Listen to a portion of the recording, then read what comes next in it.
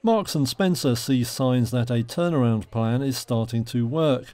The UK retailer on Wednesday forecast modest revenue growth and said it would start paying dividends again. After years of failed recovery bids, it's focusing on improving the quality of its food and clothing and investing in technology and e commerce. The firm has also embarked on a radical overhaul of its store network.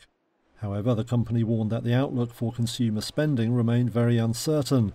Cost inflation is also biting. Even so, investors liked what they heard.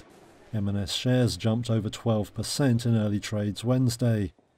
They're now up by a half this year, but still far from the levels seen back in early 2022.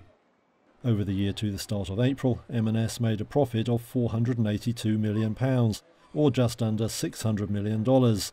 That was down on last year, but beat analyst forecasts. M&S cited factors including higher energy and labour costs. It also faced costs over its exit from the Russian market.